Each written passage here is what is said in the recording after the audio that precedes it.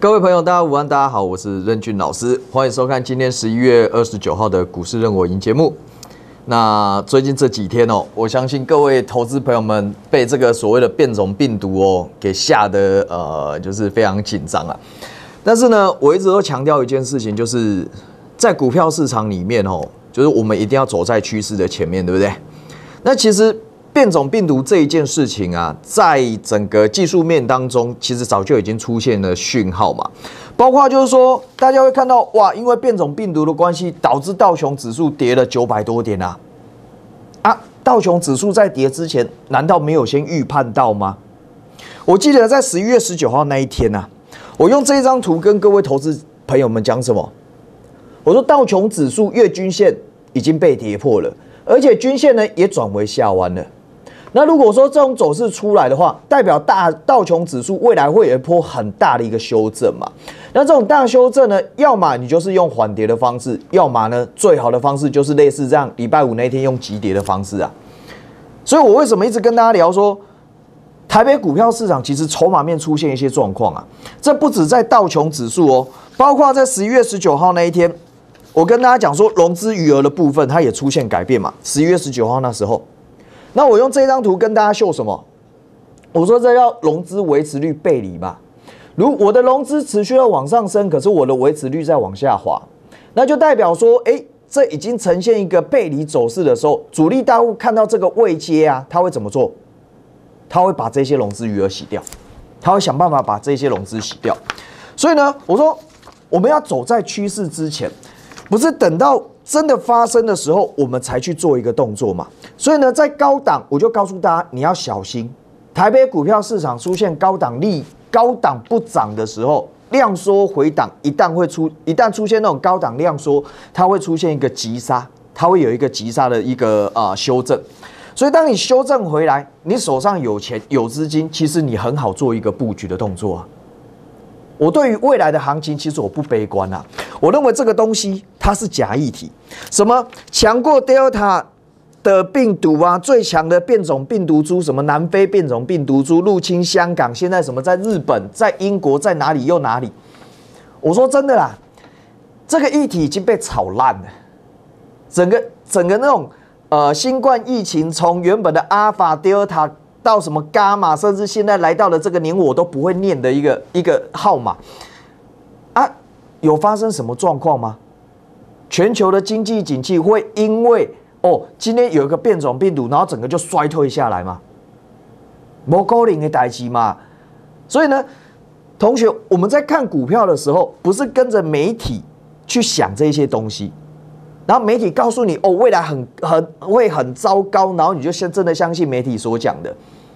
但是这些媒体所说的事情，早就已经有人先知道，先知道就已经在高档先卖股票，先卖股票，技术分析就产生讯号啊。所以我觉得这两天的下跌都在我们预测当中。可是重点是跌下来不是要你去放空，好不好？同学记得一件事情，跌下来不是会要去放空的。变种病毒这个是一个假的利空。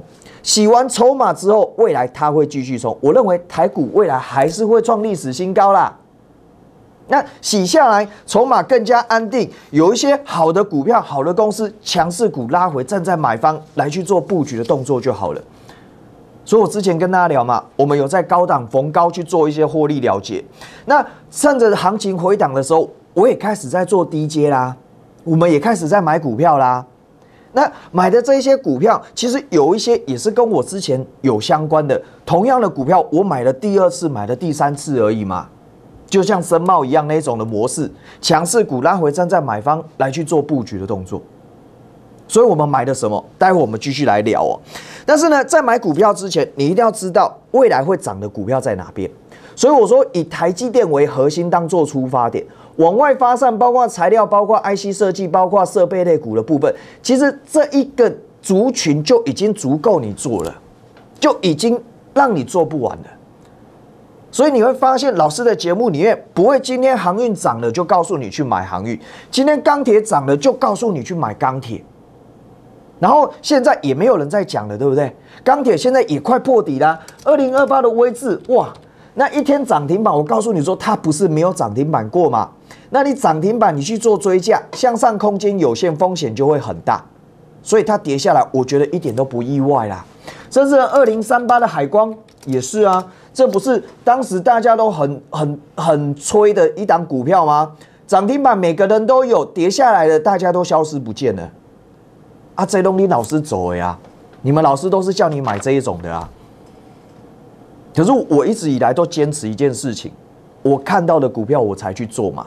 哪一些股票有人在买，有资金在做进场布局的？我可以买第一次，我当然可以买第二次，我也可以买第三次啊。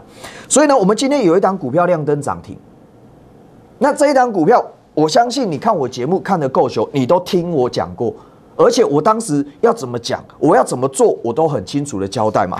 包括十月二十八号那一天，这一档叫做六四八五的点序。我那时候第一次买的时候一百二十五块钱，我说强势股拉回站在买方来去做布局动作。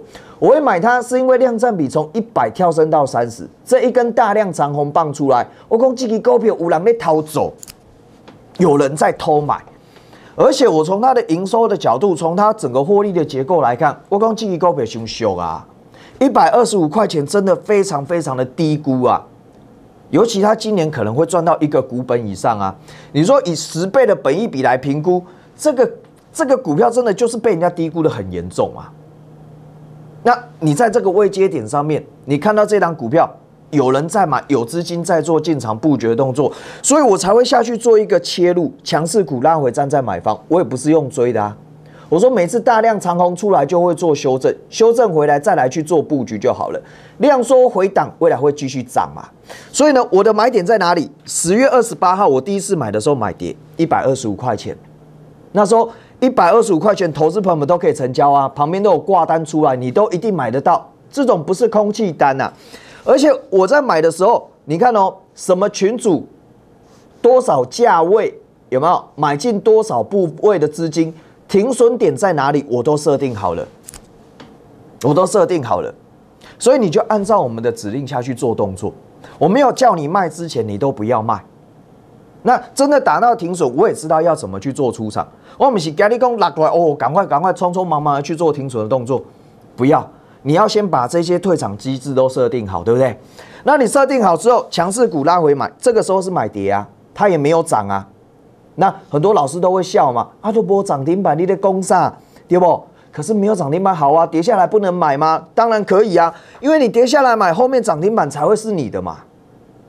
所以呢，你说一百四十，从一百二十五块钱到十一月九号的时候开始第一根亮灯涨停，十一月十号的时候第二根亮灯涨停，到十一月十六号的时候就直接创下新高嘞。当我创新高的时候，很多老师一定叫你进哦，进来哦，进来六哦。我反而跟你讲说，在这个地方不要买，你要等它回来的时候再去做布局的动作。就均线的法则当中，有第第二条非常的重要，对不对？叫做所有的乖离，它一定会做收敛。所以当我的股价跟我的均线乖离过大的时候，它一定会来做收敛。所以我说，你要等它收敛完毕之后，再来下去做布局的动作。强势股回档站在买方。我认为它涨到这个位阶，未来这个高点还是会过啊。但重点，它要过之前，它一定会先回洗吧。那它要回洗的过程，你才有布局的一个本钱啊。所以我说我要买它，我还要持续的下去做布局的动作，一直到昨天呐，礼拜五的时候，上礼拜五的时候，今天积极积极股票波来啊，从一百七十六点五元的高点有没有跌回来到月线的位置点上面呢？可是呢，当我的月均线还是上扬的情况下，强势股拉回了，你敢不敢下去做布局的动作？不敢买，为什么不敢买？因为你被新冠病毒影响啦。现在有变种病毒株，好危险。然后指数大跌两百多点，加加西朗啊，这个还会再继续跌下去吗？那你你这样子的做法，就是代表说你被盘势影响了。可是就我的角度而言，我本来就设定我要再买啊，所以呢，当真的指数大跌的时候，不就是最好的机会吗？昨天礼拜五的时候，十一月二十六号，一样是六四八五的点序，一百五十五块钱市价买进二分之一空手者加码下去做布局的动作。当时指数跌了两百九十五点，将近快三百点的空间呢。我相信如果你没有的扣讯，你绝对买不下手啦。为什么买买不下去？指数再跌怎么买？给那里把几个七杀路被死无人，无心造都惊死人啊！你还要再买股票？我说对啊，就是要买啊，因为就指数跌的过程当中，你能够逆势强于大盘的，代表你的筹码就是安定的嘛。就好像说我今天一个班级里面有一百个学生，这一百个学生里面有一半的是好学生，有一半的是不好的学生。不要讲不好，程度上面比较差一点、比较落后的学生。那当你把它一刀两边切的时候，什么时候可以分得出来？就是用考试的方式去区分，到底哪一边是属于成绩好的，哪一边是属于成绩比较跟不上的啊？所以呢，当你看到指数在跌的时候，正常来讲，集中股票应该要波啊，它应该要跟着指数跌下来嘛。可是它有没有跌？没有跌啊。指数跌两百多点，将近快三百点，它还是收红的呢。那这个就是买点啊，这个就是机会啊。再加上说，你看哦，我说主力没有走，强势股回档，你要站在买方来去做布局。那量缩回档，未来会继续涨，所以强势股拉回站在买方。当你的买点是对的，有没有？买在这个位置点上面，今天就直接亮灯涨停板，给你创新高啦。所以我们的同学都是这样做的啊。我们在带领会员都是这样做的。今天指数跌四十一点，那又怎么样？只要你的买点是对的，六四八五的点序一样啊。今天直接来到亮灯涨停板啊。那在这一段过程当中，你要怎么下去做布局的动作啊？不就是一直在洗盘，一直在洗盘，一直在洗盘。当你在洗盘的过程，量缩回档，未来就继续涨嘛。所以你说我的操作有没有方法？不是每天告诉你什么股票涨停板呢？那我在操作点序的时候，我也不是一天两天哦。我在这一个波段的过程当中，什么时机点该买，什么时机点该休息，强势股回档站在买方来去做布局的动作，这个就是有公式、有方法在做的。所以我说金牛战法很重要嘛。包括我看到这一档股票，我也是用量占比的法则告诉你啊。这一档股票量占比一百跳升到三十，所以有大量的资金来去做布局的动作。那乖离过大的时候，它一定会做收敛，所以强势股拉回，站在买方来去做布局。你把这一套系统用得非常完善呢，你不会因为今天行情跌下来，指数跌下来你就害怕了，反而你会因为哦，今天指数跌下来你很开心，高档有卖，回档我有资金，我还可以加码去做布局的动作。所以我说点序我们放了很久啊，你说我们买点对不对？从一百二十五块钱放到现在嘛，中间一度创下新高，新高没卖，回撤再来加码，再去做布局的动作。那未来呢？它如果再创新高上来呢？那我们获利不就更多了？所以我不会因为行情的涨跌而影响到我的心情。我在看的就是说哪一些股票它是未来的焦点、未来的机会啊。所以你会慢慢的发现到说，其实现在很多人在跟你讲什么病毒会很严重，未来行情会大跌啊，或怎么样的，那个都是事后话嘛。你高档有出，你会因为今天看到变种病毒的，你就感到害怕了吗？你不会耶，你会觉得很兴奋呢。因为终于又给我又一次买点给我了嘛，包括我们那时候在买所谓的深茂，在买所谓的德维，不是每一次都是买在那种大跌的时候吗？现在机会又给你了，真的又来了，结果呢，你可能又下不了手，因为你会怕人性的贪婪跟恐惧啊，这就是很难去改变的一件事情啊。所以我说，好股票，趁着回档的时候来去做布局的一个动作。这个点序我们就是连续加码了两次，还记得我们那时候吗？深茂我们也是这样做的啊，真的指数跌了四百多点买啊，而且我们还买了两趟哎，那后面创下新高，你等到真的三三零五的深茂有没有？今天真的开始涨到九十二块钱，我们在这个位置点上面买的嘛？回撤再来买，回撤再下去做加码布局，所以呢，这一个波段上来。我们可以赚钱哦，可是如果你是买在九十二块，就不会避喽。这就是操作上的差别，能不能在低档的时候就看到一档股票它会涨，而不是等到它高档了，真的涨上去了才来去做追加的动作啊？所以包括点序啊，我们现在还是啊持股满，持股一样满的啊，买点续连续加码了一趟，未来还要再买，但是要买的节奏都是一样的。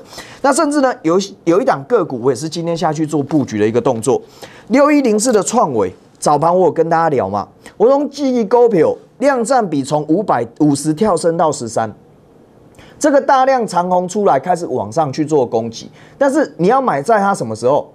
量缩回档的时候，强势股拉回站在买方来去做布局嘛？那一样在跌哦。今天早上在买的时候才一百七十五块哦，当时的价位一百七十五哦。那你想想看哦，六一零四的创维啊，买完之后今天尾盘收在最高嘛，一百七十五块买在这里嘛，尾盘收在最高来到一百八十五块钱，光这样一天的时间，你一天就差了十块钱的价差啦。同一个。方式同一个技巧，不断的在做运用而已嘛，所以这就是金牛战法它的奥秘的地方。我们不用去追股票，我们在强势股它形成一档标股之前，我们就先看到它的机会、它的未来了嘛。所以我说，像我们在做德维，今天三六七五的德维，它也来到亮灯涨停板啊。但我们不是叫你在这个亮灯涨停板去做追加，而是在。在它低档的时候，真的该买的位置点上面，在这个位置点上面的时候，我们就已经在做布局的动作，不是吗？所以你说今天德维涨停板意外吗？不意外啊，它每次都在大跌的时候越强啊。但是前提在于说，不是用追加的方式，强势股拉回站在买方来去做布局啊。那很多的个股，其实我觉得未来的机会点都很好。但是呢，你的买点会决定你未来的获利有多少。那包括这一档股票也是哦，一叉叉叉，我说它是台积电相关的族群嘛，只是说大家不知道而已。量占比八百跳升到一百三，强势股拉回站在买方来去做布局的动作，买点对了，后面就创新高上来，创新高上来，有没有一路的往上创新高上来？到第七天的时候，其实你知道它的涨幅已经来到了二十二个 percent。大盘最近在跌，它还能够逆势创新高，这就是它强的地方。那当然，我说回档我要再买，但是今天拍谁？我买的点位不是太漂亮啊，但是没关系，我们低档有做布局的动作嘛。那就是说，你的买点会决定你未来的获利有多少。我认为一档股票它有主力在做，有人在做进场布局，只要你的买点跟主力的成本是差不多的，一样。向下空间有限，未来向上获利会无穷大。那包括松松藤的部分也是啊，这个股票我都没有卖啊，那都没背对不？因为我买的位置就是这么低，当时在买松藤的时候不到七十块钱啊。那你说最近大盘在回，对，真的在回啊，跌了很多，跌了将近快八百多点，三四八四的松藤一样啊。如果你的买点是在这个位置点上面的时候，你会因为今天这两天的回档然后感到害怕吗？还是说你在回档的时候，我们还要去做加码布局的一个动作，所以操作一定要有公式，要有方法。有很多的个股，说实在的，在行情回档的才是最好买点的一个机会哦。我们要走在趋势之前，我们要跟着台积电的脚步去出发。如果你真的找不到操作的节奏跟方向的，麻烦你直接跟上脚步来。那现在呢，我们我们希望说，行情在跌的时候，你要有一个。操作的一个模式跟方法，如果你不晓得金牛战法，你不知道怎么该去做使用的话，那我们一起来携手合作，我们一起来共创双赢。我相信有一个可以带你走在趋势之前的老师，他可以让你操作起来非常的安心，非常的顺手。所以呢，想了解金牛战法的，想跟上我们脚步的，欢迎广告时间拨通电话。感谢大家接着收看，预祝大家操作顺利，我们明天再会，拜拜。